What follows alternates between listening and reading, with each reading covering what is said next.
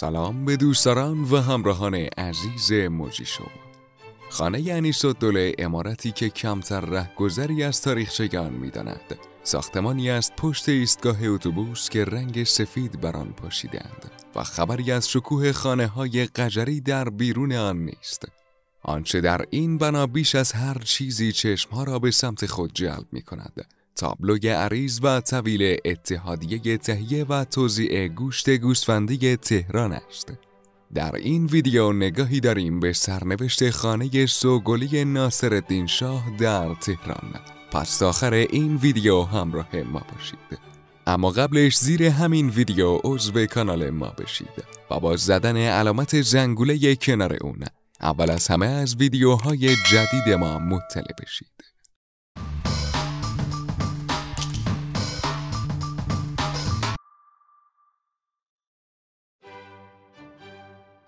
این امارت تاریخی با 140 سال قدمت متعلق به فاطمه سلطان خانم انیس دوله سومین همسر عقدی ناصر الدین شاه قاجار و ملقب به ملکه ایران بود. انیس دوله همسر سرشناس و بانفوز ناصر الدین شاه بود و این خانه که به نام وی شهرت دارد گویا پس از ترور ناصر الدین شاه محل زندگی وی در آخرین ماههای حیاتش بود. انیس الدوله محبوب ترین و بانفوسترین چهره دربار ناصرالدین شاه بوده. مقام او بر سایر همسران شاه برتری داشته و عملا می‌توان او را ملکه سلطنتی ایران دانسته که نشان همایل آفتاب و تمثال همایونی را از او دریافت کرده بود. انیس الدوله با اسم اصلی فاطمه دختر یتیمی بود که توانست تا مرحله سوگلی بودن اندرونی پر جمعیت شاه قاجار برسد. او اهل روسای امامه لواسان بود و در جریان یکی از شکارهای ناصر الدین شاه شاه او را که چوپانی گله عمویش را می کرد دید و کمی با او گپ زد.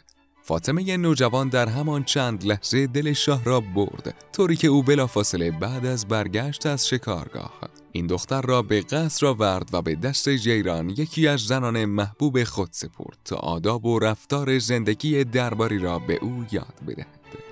بعد از مرگ جیران شاه با انیس الدوله ازدواج کرد. او بعد از ازدواجش مدام در دربار ترقی کرد و به نوعی ملکه غیر رسمی ایران بود. به رغم اینکه انیس الدوله با معیارهای زیبایی امروز فاصله زیادی داشت اما شاه آنقدر به او علاقه داشت که انیس الدوله می توانست هر مقامی را ازل یا نصب کند. در بین این 84 زن حرم سرای ناصر الدین شاه فقط یک زن بود که واقعا عاشق شاه قاجار بوده و داستان مرگش را اینطور نوشتند که وقتی بعد از ترور ناصر الدین شاه مقرری ماهانه را پیش او بردند او با دیدن عکس ناصر الدین شاه بر روی اسکناس آنقدر گریه کرد تا حالش بد شد و از همین بیماری درگذشت.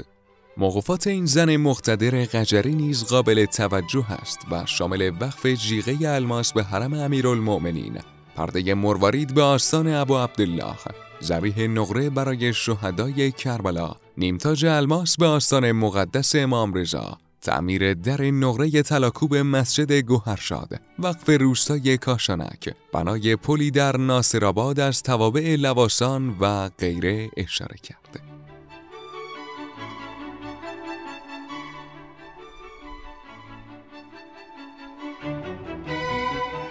امارت انیس دوله در جنوب طولانی ترین خیابان پایتخت یعنی خیابان ولی عصر بالاتر از چهار راه مولوی روبروی مهدیه تهران قرار دارد.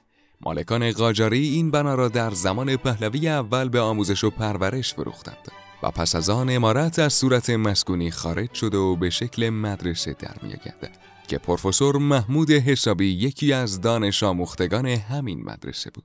در سال 1330 هم این بنا به تملک شخصی به نام نادر اصفهانی در میآید و از دهه 1350 به دلیل نزدیکی این ساختمان به کشتارگاه ساختمان تبدیل به اتحادیه گوشت گوسفندی تهران شده و تا همین الان هم تنها کاربریش همین است.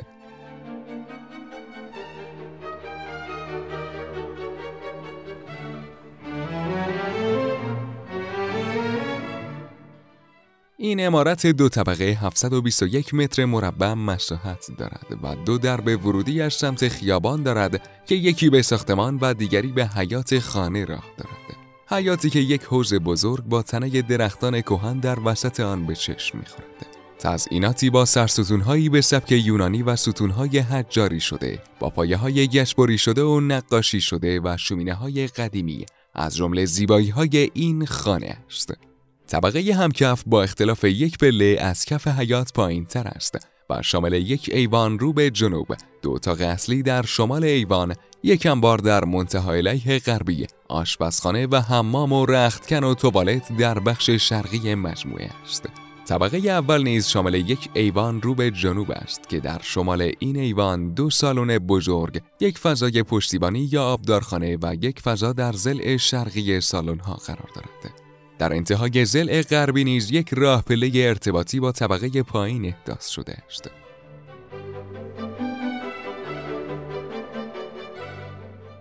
به گفته رئیس اتحادیه گوشت فروشان دیگر از کار کردن در خانه‌ای که اختیار هیچ گونه تغییری در آن را ندارد خسته شده است. تا کنون مکاتبات زیادی با سازمان میراث فرهنگی و شهرداری برای خرید این خانه و تغییر کاربری آن به یک مکان فرهنگی صورت گرفته که تا کنون همه بی نتیجه مانده است و سازمان میراث فرهنگی در این سالها فقط عملیات مرمت بنا را انجام داده است در حالی که درخواست مالک بنا فروشیان است.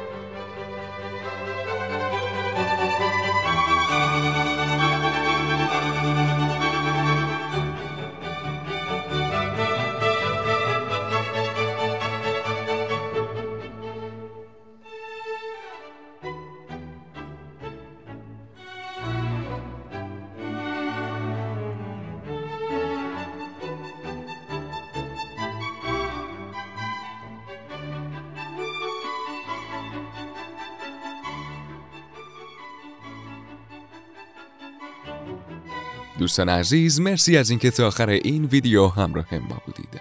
اگر خوشتون اومد لایک کنید و نظراتتون رو با ما به اشتراک بذارید.